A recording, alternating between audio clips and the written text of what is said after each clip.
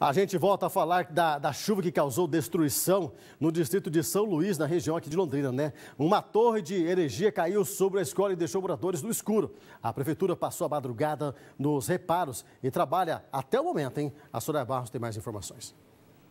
Oi Cid, boa tarde a você, boa tarde também que está em casa acompanhando a gente aqui no Tarobá Notícia. Nós estamos aqui próximos à entrada do distrito de São Luís, justamente porque por conta dos temporais há uma dificuldade com os serviços de internet e também de telefonia.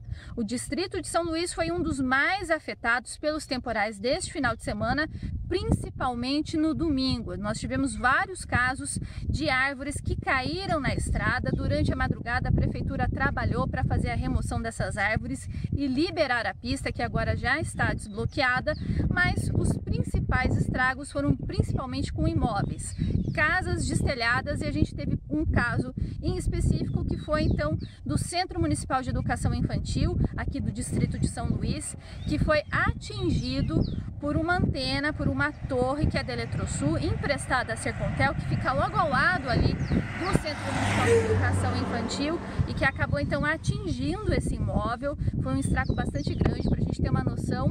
Essa torre tem 63 metros de altura, caiu, acabou atingindo completamente o Centro Municipal de Educação Infantil, destruiu duas salas, além de outros estragos com imóveis, equipamentos e até mesmo os próprios brinquedos das crianças que são atendidas então por esse Serviço Municipal de Educação. Lá são atendidas cerca de 58 crianças com idades entre 2 e 6 anos que hoje não puderam frequentar então o CEMEI.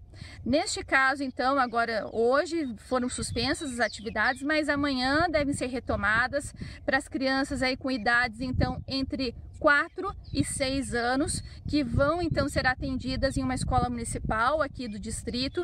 E as crianças menores, as mais novinhas, ainda eles estão estudando uma forma de fazer o remanejamento desse atendimento e devem comunicar os pais assim que isso for definido com a Secretaria Municipal de Educação.